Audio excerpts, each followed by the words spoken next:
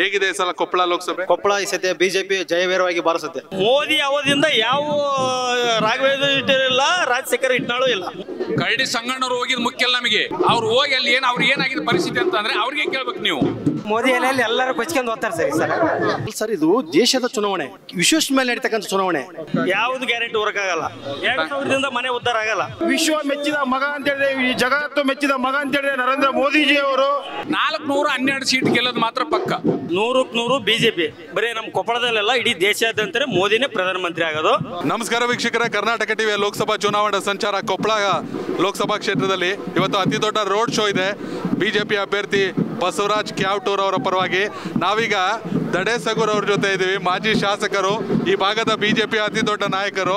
Sir ಹೇಗೆ ನಡೀತಾ ಇದೆ ಕೊಪ್ಪಳ? ಚೆನ್ನಾಗಿ ನಡೀತೈತಿ. ರೋಡ್ ಶೋ ಭಾಳ ಅದ್ಭುತವಾಗಿ ಜನ ಇಚ್ಛೆ ಇಚ್ಛಾಶಕ್ತಿಯಿಂದ ಬರ್ತಾ ಇದ್ದಾರೆ ಜನ ಇವತ್ತು.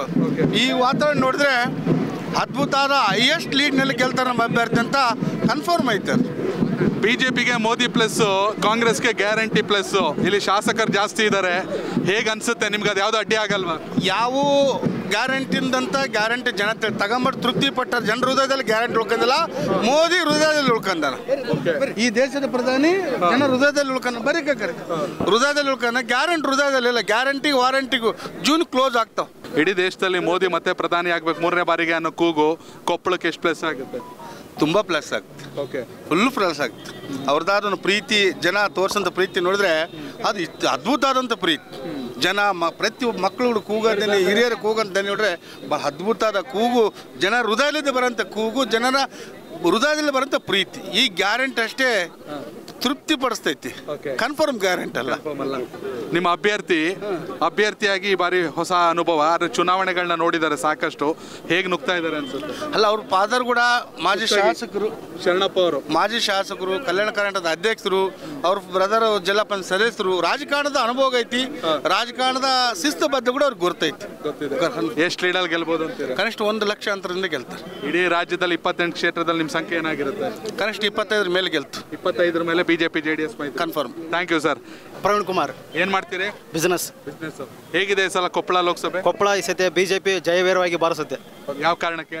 ಮೋದಿ ಅಭಿವೃದ್ಧಿ ಹಾಗೂ ಜೈ ಶ್ರೀರಾಮ್. ಓಕೆ ಟಿಕೆಟ್ನಲ್ಲಿ ವ್ಯತ್ಯಾಸಗಳೇನು ಸಮಸ್ಯೆ? ಏನು ವ್ಯತ್ಯಾಸ ಆದ್ರೂ ಮೋದಿಯಿಂದ ಯಾವುದು ನಡೆಯೋದಿಲ್ಲ. ಮೋದಿಯಿಂದ ಗೆಲ್ಲುತ್ತೆ. ಸಂಗಣ್ಣ ಕರಡಿ? ಸಂಗಣ್ಣ ಕಡೆಯವರು ಅವರ ಕಡೆ ಹೋಗಿ ತುಂಬಾ ತಪ್ಪನ್ನು ಮಾಡಿದರು ಅವರು. ತಪ್ಪು ಮಾಡಿದ್ರು. ಪಕ್ಷ ಏನ್ ಬೇಕೆಲ್ಲ ಕೊಟ್ಟಿದ್ದೆ ಅವ್ರು. ಎಲ್ಲ ಕೊಟ್ಟಿದೆ ಪಕ್ಷ. ನಿಮ್ಮ ಅಭ್ಯರ್ಥಿ ಡಾಕ್ಟರ್ ಬಸವರಾಜ್ ಕ್ಯಾಪ್ಟರ್ ಹೇಗಿದ್ದಾರೆ? ಒಳ್ಳೆ ವ್ಯಕ್ತಿ. ಸಂಭಾವ್ಯ ವ್ಯಕ್ತಿ ಆ, ಸ- ಒಳ್ಳೆ ವ್ಯಕ್ತಿಯರಿಂದ ಗೆಲ್ತಾರೆ. ಎಷ್ಟು ಲೀಡಲ್ಲಿ ಗೆಲ್ತಾರೆ? ಒಂದು ಲಕ್ಷದ ಮತಗಳಿಂದ ಗೆಲ್ಬಹುದು ನಮ್ಮ ಹೆಸರು ವಿರೂಪಾಕ್ಷಪ್ಪ ಮೀಟಿಗೌಡರು. ನಾವು ಲೆಕ್ಕ ಪರಿಶೋಧಕ ಪ- ಲೆಕ್ಕ ಪರಿಶೋಧಕರು ನಾವು. ಹೇಳಿ ಹೇಳಿ. ಹೇಗಿದೆ ಸರ್ ಕೊಪ್ಪಳ ಲೋಕಸಭೆ? ಸರ್ ಯಾವಾಗಲೂ ಮುಂದೆನೇ B J P B J ಪಿಯಲ್ಲಿ ಇದ್ದುಬಿಟ್ಟು ಬೇರೆ ಕಡೆ ಹೋಗಿಬಿಟ್ಟು ತುಂಬ ದ್ರೋಹ ಮಾಡಿದ್ದಾರೆ ಪಕ್ಷಕ್ಕೆ. ಸಂಗಣ್ಣ ಕರಡಿ ಅವರ? ಹೌದು. ಓಕೆ ಅವ್ರ ಫ್ಯಾಕ್ಟ್ ಏನು ವರ್ಕ್ ಆಗಲ್ಲ ಬಿಜೆಪಿ ಗಡ್ಡಿ ಆಗಲ್ಲ? ಸರ್ ನೋಡಿ ಸರ್ ಯಾರಿದ್ರೇನೆ ಜೈ ಶ್ರೀರಾಮ್. ಅಷ್ಟೇ. ಏನ್ ಮಾಡ್ತೀರಿ? ನಾವು ಬಿಸ್ನೆಸ್ ಮಾಡ್ತೀವಿ. ಓಕೆ ಹೇಗಿದೆ ಸರ್ ಕೊಪ್ಪಳ ಲೋಕಸಭೆ? ಕೊಪ್ಪಳ ಕ್ಷೇತ್ರ ಹಂಡ್ರೆಡ್ ಪರ್ಸೆಂಟ್ ಬಿಜೆಪಿ ವಿನ್ ಆಗುತ್ತೆ. ಆರು ಜನ ಶಾಸಕರು ತಾನೇ ಕಾಂಗ್ರೆಸ್ ಅವರು ಇಲ್ಲಿ? ಕಾಂಗ್ರೆಸ್ ಆರು ಜನ ರೀ ಒಂದು ಲಕ್ಷ ಲೀಡ್ ನಂತರ ಮೇಲೆ ಗೆಲ್ತೈತಿ. ಗ್ಯಾರಂಟಿಗಳೇನು ವರ್ಕ್ ಆಗಲ್ವಾ ಇಲ್ಲಿ? ಈಗ ಗ್ಯಾರಂಟಿ ಅಲ್ಲ ಸರ್ ಇದು ದೇಶದ ಚುನಾವಣೆ. ಓಕೆ. ವಿಶ್ವದ ಮೇಲೆ ನಡೀತಕ್ಕಂಥ ಚುನಾವಣೆ. ಯಾರೋ ಎರಡು ಸಾವಿರ ಮೂರು ಸಾವಿರ ಕೊಡ್ತಾರೆ ಅಂತ ನಡೆಯೋದಲ್ಲ ಈಗ ಗ್ಯಾರಂಟಿ ಎರಡು ಸಾವಿರ ನೋಡಿ ಏನಾದ್ರು ಕಾಂಗ್ರೆಸ್ಗೆ ಓಟ್ ಹಾಕಿದ್ರ? ಈಗ ದೇಶದ ಭವಿಷ್ಯ ಏನು? ಈಗ ಎರಡು ಸಾವಿರದ ಹದಿನಾಲ್ಕರಿಂದ ಈಚೆ ಮುಂದೆ ದೇಶ ಹೆಂಗಿತ್ತು? ಈಗ ಹೆಂಗೈತಿ? ಅದು ಬೇಕಲ್ಲ? ಈಗ ಪಂಚಾಯತ್ ಮೆಂಬರ್ ಇರ್ತಾನ, ಎಂ ಎಲ್ ಇರ್ತಾರ ಲೋಕಲ್ ವರ್ಕ್ಗಳು ಮಾಡ್ತಾರ. ಆದರೆ ದೇಶದ ಕೆಲವೊಂದು ನಿರ್ಧಾರಗಳು ತಗೋಬೇಕಾದ್ರೆ ಬಿ ಜೆ ಪಿ ಅಂತ ಒಂದು ಬಲವಾದ ಸ್ಟ್ರಾಂಗ್ ಆದ ಪಕ್ಷ ಸೆಂಟ್ರಲ್ಗೆ ಬೇಕಲ್ಲ? ಹಾಂ ಈಗ ಕಾಂಗ್ರೆಸ್ ಅಂತೇಳಿ ಅದು ನಿಂತಿದ ಇನ್ನೂರೈವತ್ತು ಸ್ಥಾನ ನಿಂತಿಲ್ಲ. ಅದು ಕೋಟ ವೇಸ್ಟ್ ಯಾಕೆ ಮಾಡ್ಬೇಕು? ದೇಶಕ್ಕೆ ಇನ್ನೊಂದು ಇಪ್ಪತ್ತು ವರ್ಷ ಬಿ ಜೆ ಪಿ ಅವಶ್ಯಕತೆ ಐತಿ. ಹೇಗಿದೆ ನಿಮ್ಮ ಅಭ್ಯರ್ಥಿ ಡಾಕ್ಟರ್ ಬಸವರಾಜ್? ಬಸವರಾಜ್ ಒಳ್ಳೆ ವ್ಯಕ್ತಿ. ಜನ ಹೋ- ಹೋದ್ ಸಲ ಕೂಡ ಹೋದ್ ಸಲ ಕೂಡ ಅವರು ಚುನಾವಣೆ ಸ್ಪರ್ಧಿಸ್ಬೇಕಂತೇಳಿ ಟಿಕೆಟ್ ಟ್ರೈ ಮಾಡಿದರು. ಕಾರಣಾಂತರಗಳಿಂದ ಕಡೆ ಸಂಗಣ್ಣವ್ರಿಗೆ ಆಯಿತು. ಈಗ ಅವರು ನಮ್ಮ ಶಾಸಕರು ಹೇಳಿದಾಗೆ ಅವರು ಅವ್ರ ಅಪ್ಪವರು ಮಾಜಿ ಶಾಸಕರು ಅವ್ರ ಜಿಲ್ಲಾ ಪಂಚಾಯತಿ ಅವ್ರ ತಮ್ಮವರು ಮೆಂಬರು ಮಾಜಿ ಮೆಂಬರು. ಹಂಗಾಗಿ ಕ್ಯಾಂಡಿಡೇಟ್ ಒಳ್ಳೆ ಸೂಕ್ತವಾದ ಕ್ಯಾಂಡಿಡೇಟ್ನ ಆಯ್ಕೆ ಮಾಡಿದ ಪಕ್ಷ. ಹಾಗಾಗಿ ಯಾವುದೇ ಕಾರಣಕ್ಕೂ ಒಂದು ಲಕ್ಷದ ಮೇಲೆ ಇಲ್ಲಿ B J P ಗೆಲ್ತು sir. Thank you thank you sir ಏನು ಮಾಡ್ತೀರಿ? ನಾವು ಭತ್ತ ವ್ಯಾಪಾರ ಮಾಡ್ತೀವಿ. ಹೇಗಿದೆ ಸರ್ ಕೊಪ್ಪಳ? ಸರ್ ಈಗ ಆಲ್ರೆಡಿ ನಾವು ಮೂರು ಬಿಜೆಪಿ ಹ್ಯಾಟ್ರಿಕ್ ಆಗಲೇ ವಿನ್ ಆಗಿದೆ. ಸತತ ಬಾರಿ ನಾಲ್ಕನೇ ಬಾರಿ ವಿಜಯ ದಾಖಲೆ ಆದ್ರೆ ಆಗಿದೆ. ಈಗ ಲೀಡ್ ಅಷ್ಟೇ ಬರೋ ಬಾಕಿ. ನಮ್ಮ ಅಂದಾಜ್ ಪ್ರಕಾರ ಐವತ್ತು ಸಾವಿರಕ್ಕಿಂತ ಮೇಲ್ಪಟ್ಟು ನೀಡಿ ಬರ್ತೀವಿ. ಬಟ್ ಈ ಹೊಸ ಕ್ಯಾಂಟ್ ಆದ್ರಿಂದ ಜನರಿಗಿಂತ ಆಲ್ರೆಡಿ ಬಿಜೆಪಿ ಬಗ್ಗೆ ಒಲವು ಭಾಳ ಇದೆ ಆಮೇಲೆ ಡಾಕ್ಟರ್ ಅವರು ಕೂಡ ರಾಜಕೀಯ ಹಿನ್ನೆಲೆ ಇದೆ ಅವರಪ್ಪ ಅವರು ಎಂ ಎಲ್ ಎ ಆಗಿದ್ದರು ಈಗ ಇವರಾದ್ರೂ ಕೂಡ ಒಳ್ಳೆ ಸಂಭವ ಅಂತ ಗೊತ್ತಾಗಿ ಜನರಿಗೆ. ಮೋದಿ ಅಲೆ ಮುಂದೆ ಎಲ್ಲರೂ ಈ ಬಾರಿ ನಾಲ್ವರಕ್ಕೂ ಹೆಚ್ಚು ಸೀಟ್ಗಳನ್ನ ನಾವು ಪಡಿತೀವಿ ಅಂತ ಹೇಳಿ ನಮ್ಗೆ ಅಂದಾಜು ಗೆಸ್ ಇದೆ. ನಾನೂರಕ್ಕೆ ಸೀಟ್ ಬಂದೇ ಅಧಿಕವಾಗಿ ಬರ್ತೀವಿ ಎನ್ ಡಿ ಎಂ ಆರು ಜನ ಕಾಂಗ್ರೆಸ್ ಎಂ ಎಲ್ ಎಗಳಿದ್ದಾರೆ ಏನು ಅಡ್ಡಿ ಆಗಲ್ವಾ ಸರ್ ಎಂ ಎಲ್ ಎನೇ ಬೇರೆ ಎಂ ಪಿನೇ ಬೇರೆ. ಓಕೆ. ಆ ಒಂದು ಉದ್ದೇಶದಿಂದ ನಾವು ಪ್ರತಿ ಸಲನೂ ಬಿ ಜೆ ಪಿನೇ ಈ ಸಲ ಎಲೆಕ್ಟ್ರಿಕ್ ಇದ್ದೀವಿ. ಸರ್ ನಾಲ್ಕನೇ ಸಾರಿ ಗೆಲ್ತೀವಿ ಎಂಬುದು ನೂರು ನೂರು ಸತ್ಯ. ಅಂಗಡಿಗೆ ಅವ್ರ ಮಾತನ್ನ ಯಾರು ಕೇಳಲ್ವಲ್ಲ ಕಾಂಗ್ರೆಸ್ ಅವರು? ಸರ್ ಅದು ನಾವು ಹೇಳ್ತೀವಿ ಸರ್ ಎಂ ಎಲ್ ಎನೇ ಬೇರೆ ಇಲ್ಲಿ ಎಂ ಪಿನೇ ಬೇರೆ ನಮ್ಮ ಕೊಪ್ಪಳ. ಶಿವರಾಜ್ ತಂಗಡಿ ಅವ್ರು ತಾನೇ ಇಲ್ಲಿ ಎಂ ಎಲ್ ಎ? ಆ ಎಂ ಎಲ್ ಎ. ಸಚಿವರ ವರ್ಕೌಟ್ ಆಗಲ್ಲ ಸರ್? ಇಲ್ಲ ಸರ್ ಅದು ಕರ್ನಾಟಕ ರಾಜಕೀಯ ಬೇರೆ ಆಗುತ್ತೆ ಇದು ಭಾರತ ದೇಶದ ರಾಜಕೀಯ ಬೇರೆ ಆಗುತ್ತೆ. ಥ್ಯಾಂಕ್ ಯು ನಿಮ್ಮ ಹೆಸರು? ಸರ್ ಅಮರೇಶ್ ಪಾಟೀಲ್ ಅಂತೇಳಿ. ನಾವು ಬಿಜೆಪಿ ಮುಖಂಡರು. ಹೇಗಿದೆ ಸರ್ ಕೊಪ್ಪಳ ಸರ್ ಒಂದು ಲಕ್ಷ ಐವತ್ತು ಸಾವಿರ ಮತದಿಂದ ಗೆಲ್ತಾರೆ. ಅದು ಏಕೆಂದರೆ ಕರಡಿ ಸಂಗಣ್ಣರು ಹೋಗಿದ್ದು ಮುಖ್ಯ ಅಲ್ಲ ನಮಗೆ. ಕರಡಿ ಸಂಗಣ್ಣ ನಮಗೆ ಆತ್ಮೀಯರು. ನಮ್ಮ ಅಪ್ಪಾಜಿ ಅಂತ ಅನ್ಕೊಂಡಿದ್ವಿ ನಾವು. ಅವ್ರು ಹೋಗಿ ಅಲ್ಲಿ ಏನು ಅವ್ರು ಏನಾಗಿದೆ ಪರಿಸ್ಥಿತಿ ಅಂತಂದರೆ ಅಂದ್ರೆ ಅವ್ರಿಗೆ ಕೇಳ್ಬೇಕು ನೀವು. ಒಂದು ನಾಲ್ಕುನೂರ ಹನ್ನೆರಡು ಸೀಟ್ ಗೆಲ್ಲೋದು ಮಾತ್ರ ಪಕ್ಕ. ನಾಲ್ಕುನೂರ ಹನ್ನೆರಡು. ಹನ್ನೆರಡು ಸೀಟ್ ಅದ್ಯಾಕೆ ಹನ್ನೆರಡು? ಅದು ಹನ್ನೆರಡು ಬಂದೇ ಬರ್ತದೆ. ಹಾಂ ಇದು ಪಕ್ಕ. ನೀವು ಏನು ಈಗ ಮಾಡ್ಕೊಂತಾರ ರೆಕಾರ್ಡಿಂಗ್ ನೀವು ಈ ದೇಶದಲ್ಲಿ ಎನ್ ಡಿ ಎ ನಾನ್ನೂರ ಹನ್ನೆರಡು ಬರುತ್ತೆ. ಹಾ, ಯಾವುದು? ಎನ್ ಡಿ ಎ ನಾಲ್ಕುನೂರ ಪ್ಲಸ್ ಅಂತ ಅವ್ರು ಹೇಳ್ತಾರಲ್ಲ ನಾಲ್ಕುನೂರ ಹನ್ನೆರಡು ನಾನು ಹೇಳ್ತೀನಿ ಹೆಸರು? ನಾಗರಾಜ್ ಸರ್. ಏನು ಮಾಡ್ತೀರಾ? ರೈತರು. ಹೇಗಿದೆ ನಿಮ್ಮ ಪ್ರಕಾರ ಈ ಸಲ ಕೊಪ್ಪಳ? ನೂರಕ್ಕೆ ನೂರು ಬಿ ಜೆ ಪಿ ಬರೀ ನಮ್ಮ ಕೊಪ್ಪಳದಲ್ಲೆಲ್ಲ ಇಡೀ ದೇಶಾದ್ಯಂತರೇ ಮೋದಿನೇ ಪ್ರಧಾನಮಂತ್ರಿ ಆಗೋದು. ದೇಶ ಉಳಿಬೇಕಾದ್ರೆ ಮೋದಿಜಿಯವರು ಪ್ರಧಾನಮಂತ್ರಿ ಆಗಬೇಕು. ಇದು ಯಾರು ಪ್ರಚಾರ ಮಾಡೋದು ಬೇಕಾಗಿಲ್ಲ ಏನು ಹೇಳೋದು ಬೇಕಾಗಿಲ್ಲ. ವಯಸ್ಸು ಚಿಕ್ಕ ಚಿಕ್ಕ ಮಕ್ಕಳಿಂದ ವಯಸ್ಸಾದವರ ಸಮಿತಿ ಮೋದಿಜಿಗೆ ಓಟ್ ಹಾಕ್ತಾರೆ. ನೂರಕ್ಕೆ ನೂರು ಪ್ರಧಾನಮಂತ್ರಿ ಮೋದಿಜಿ ನಮ್ಮ ಕೊಪ್ಪಳ ಬಸವರಾಜ್ ಕ್ಯಾವಟರ್ ವಿನ್ ಆಗ್ತಾರೆ. ಹೇಗೆ ಬಸವರಾಜ್ ಕ್ಯಾವಟರ್ ಅವರು ಡಾಕ್ಟರ್ ಆಗಿದ್ದವರು?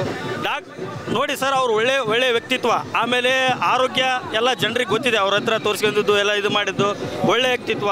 ಮೋದಿ ಅವ ಎಲ್ಲದೂ ಕೂಡಿ ಬಸವರಾಜ್ ಸರ್ ಅವರು ವಿನ್ ಆಗ್ತಾರೆ. ಗೆಲ್ತಾರೆ. ಒಂದು ಲಕ್ಷ ಮತಗಳ ಅಂತರ ಮೇಲೆ ಗೆಲ್ತಾರೆ. ರಾಜಶೇಖರ್ ಇಟ್ನಾಳ್ ಅವರು ಕಡಿಮೆ ಅಂತರದಲ್ಲೇ ಸೋತಿರೋದು ಕಳೆದ ಕೆಲ ಚುನಾವಣೆಗಳನ್ನ ಅನುಕಂಪ ಇಲ್ವಾ? ಮೋದಿ ಅವಧಿಯಿಂದ ಯಾವ ರಾಘವೇಂದ್ರ ಇಲ್ಲ ರಾಜಶೇಖರ್ ಇಟ್ನಾಳು ಇಲ್ಲ. ಇಲ್ಲಿ ಗ್ಯಾರಂಟಿ ಏನು ಇಲ್ಲ. ಯಾವುದು ವರ್ಕ್ ಆಗಲ್ಲ. ಯಾವುದು ಗ್ಯಾರಂಟಿ ವರ್ಕ್ ಆಗಲ್ಲ. ಎರಡು ಸಾವಿರದಿಂದ ಮನೆ ಉದ್ಧಾರ ಆಗಲ್ಲ. ಥ್ಯಾಂಕ್ ಯು ಸರ್ ಮೋದಿ ಎಲೆ ಮೋದಿ ಎಲೆಯಲ್ಲಿ ಎಲ್ಲರೂ ಕೊಚ್ಕೊಂಡು ಹೋಗ್ತಾರೆ ಸರ್ ಈ ಸಲ. ಮತ್ತೆ Kashmir Kashmir Jammu Kashmir three seventy one Shriram ಮಂದಿರ ರಾಮ ಮಂದಿರ ನಿರ್ಮಾಣ ಮಾಡಿದ್ದು. ಆಮೇಲೆ ತ್ರಿವಳಿ ತಲಾಕ್. ಇವೆಲ್ಲದರಿಂದ ಮೋದಿ ಪಕ್ಕ ಈ ಸತಿ ಕೊಪ್ಪಳದಲ್ಲಿ ಬಿಜೆಪಿ ಜೆ ಪಕ್ಕ ಬರುತ್ತೆ. ಥ್ಯಾಂಕ್ ಯು ನಿಮ್ಮ ಹೆಸರು? ವೆಂಕಟೇಶ್ ಉಪ್ಪರ್ ಅಂತ. ಒ ಬಿ ಸಿ ರಾಜ್ಯ ಕಾರ್ಯದರ್ಶಿಗಳು. ಹೇಗಾಗ್ತಾ ಇದೆ ಸರ್ ಸಲ ಕೊಪ್ಪಳ ಲೋಕಸಭೆ? ಕೊಪ್ಪಳ ಲೋಕಸಭೆಯಲ್ಲಿ ಕೊಪ್ಪಳ ಲೋಕಸಭೆಯ ಚುನಾವಣೆ ಅಂಗವಾಗಿ ನಮ್ಮ ರಾಜ್ಯಾಧ್ಯಕ್ಷರಾದಂಥ ಬಿ ವೈ ವಿಜೇಂದ್ರಣ್ಣವರು ಈಗಾಗಲೇ ರಾಯಚೂರು ಜಿಲ್ಲೆ ಲಿಂಗಸೂರು ತಾಲೂಕು ಮತ್ತು ಸಿಂಧನೂರು ತಾಲೂಕು ಮಸ್ಕಿ ಮುಗಿಸಿಕೊಂಡು ಈಗ ಸಂಜೆ ಕಾಟಿಗೆ ಕಾರ್ಯಕ್ರಮದಲ್ಲಿ ಪಾಲ್ಗೊಂಡಿದ್ದಾರೆ. ಹಾಗಾಗಿ ಈ ನರೇಂದ್ರ ಮೋದಿ ಅವರ ಹತ್ತು ವರ್ಷದ ಆಡಳಿತವನ್ನು ಮೆಚ್ಚಿ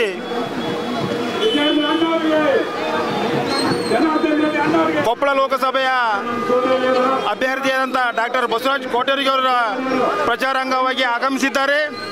ಹಾಗಾಗಿ ಕಾಟಿಯಲ್ಲಿ ಅತಿ ಹೆಚ್ಚು ಜನಸಂಖ್ಯೆಯಿಂದ ಭಾರತೀಯ ಜನತಾ ಪಾರ್ಟಿಯ ಮುಖಂಡರು ಮತ್ತು ಅಕ್ಕ ತಂಗಿಯಂದಿರು ಮತ್ತು ತಂದೆ ತಾಯಿಗಳು ಒಳ್ಳೆ ಈ ಕಾರ್ಯಕ್ರಮವನ್ನು ನಡೆಸಿಕೊಟ್ಟಿದ್ದಾರೆ.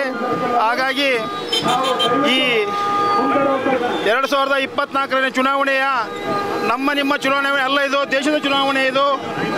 ನರೇಂದ್ರ ಮೋದಿ ಅವರನ್ನು ಕೈ ಬಲಪಡಿಸುವಂಥ ಚುನಾವಣೆ ಇದು. ಹಾಗಾಗಿ ಇನ್ನೂ ಹತ್ತು ವರ್ಷ, ಹತ್ತು ವರ್ಷಗಳ ಅಧಿಕಾರದಲ್ಲಿ ವಿಶ್ವ ಮೆಚ್ಚಿದ ಮಗ ಅಂತೇಳಿದ್ರೆ, ಈ ಜಗತ್ತು ಮೆಚ್ಚಿದ ಮಗ ಅಂತೇಳಿದ್ರೆ ನರೇಂದ್ರ ಮೋದಿಜಿಯವರು. ಆ ನರೇಂದ್ರ ಮೋದಿಜಿ ಅವರನ್ನ ಮೂರನೇ ಬಾರಿಗೆ ಪ್ರಧಾನಮಂತ್ರಿಯನ್ನು ಮಾಡಲು ನಮ್ಮ ನಮ್ಮ ನಮ್ಮ ನಿಮ್ಮೆಲ್ಲರ ಜವಾಬ್ದಾರಿ ಇದೆ. ಹಾಗಾಗಿ ಎಷ್ಟು ಎಷ್ಟು ಲೀಡಲ್ಲಿ ಗೆಲ್ತಾರೆ ಬಸವರಾಜ್? ಬಸವರಾಜ್ ಅವರು ಈ ಕೊಪ್ಪಳ ಕ್ಷ- ಮತಕ್ಷೇತ್ರದಿಂದ ಒಂದೂವರೆಲಿಂದ ಎರಡು ಲಕ್ಷವರೆಗೂ ಗೆದಿಬೋದು ಅಂತ ಬಹಳ ನಿರೀಕ್ಷೆ ಇದೆ ನಿರೀಕ್ಷೆ ಇದೆ. ಯಾವುದೇ ಯಾವುದೇ ಪಕ್ಷ ಭೇದವಿಲ್ಲದೆ ಎಲ್ಲ ಹಿಂದೂ ಸಂಘಟನೆ ಹೋರಾಟಗಾರರು ಬಿಜೆಪಿಯ ಕಾರ್ಯಕರ್ತರು ಹಾಗೂ ಅಕ್ಕ ತಂಗಿಯಂದಿರು, ಅಣ್ಣ ತಮ್ಮಂದಿರು ಎಲ್ಲರೂ ಒಂದೇ ಒಂದು ಗುರಿ. ಇದು ದೇಶದ ಚುನಾವಣೆ ಇದು. ಆ ದೇಶದ ಚುನಾವಣೆ ನರೇಂದ್ರ ಮೋದಿ ಅವರ ಚುನಾವಣೆ. ಹಾಗಾಗಿ ಆ ಚುನಾವಣೆಯಲ್ಲಿ ವಿಜೇಂದ್ರಣ್ಣವರು ಈ ಇಪ್ಪತ್ತು ನಾ, ಇಪ್ಪತ್ತೆಂಟು ಕ್ಷೇತ್ರಗಳಿಗೆ, ಇಪ್ಪತ್ತೆಂಟು ಕ್ಷೇತ್ರ ಗೆದಿಬೇಕಂತೇಳಿ ಅವ್ರೇನು ಕಂಕಣ ತೊಟ್ಟು ನಿಂತಿದ್ದಾರೆ. ಅದು ಎಲ್ಲ ಯಶಸ್ವಿ ಆಗುತ್ತೆ ಅಂತೇಳಿ ನಮ್ಮ ಕಾಟಿಗೆ ಜನರು ಮತ್ತು ನಾವೆಲ್ಲ ಕಾರ್ಯಕರ್ತರು ಈ ವಿಜಯ, ಇದು ವಿಜಯ, ವಿಜಯೋತ್ಸವ ಇದು. ವಿಜಯೇಂದ್ರಣ್ಣವರ ವಿಜಯೋತ್ಸವ. ಹಾಗಾಗಿ ಈ ವಿಜಯೋತ್ಸವವನ್ನು ವಿಜಯೇಂದ್ರಣ್ಣವರು ಎಗಲಿ ಎಗಲಿ ಕೊಟ್ಟು ನಿಂತು ಅವ್ರ ಜೊತೆಗೆ ನಿಂತು ಕೆಲಸ ಮಾಡ್ತೀವಿ. ಕೆಲಸ ಮಾಡಿ ಇಪ್ಪತ್ತೆಂಟು ಕ್ಷೇತ್ರದಲ್ಲಿ ಗೆದ್ದು ಅಂತೇಳಿ ನಮ್ಮ ಮನವ ಥ್ಯಾಂಕ್ ಯು ಥ್ಯಾಂಕ್ ಯು